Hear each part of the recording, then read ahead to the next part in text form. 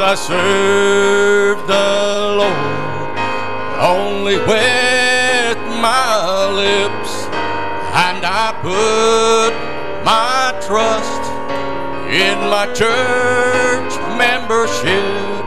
But then my soul had a stir, and I earnestly prayed till I knew without a doubt I was saved.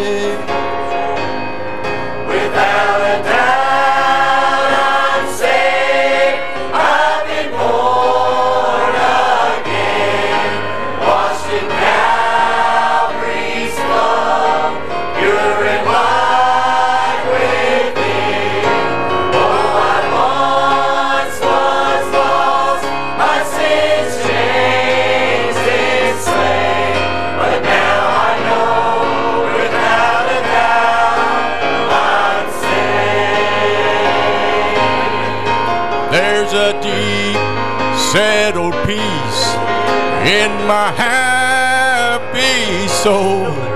Now my life has an aim. Heaven is my goal.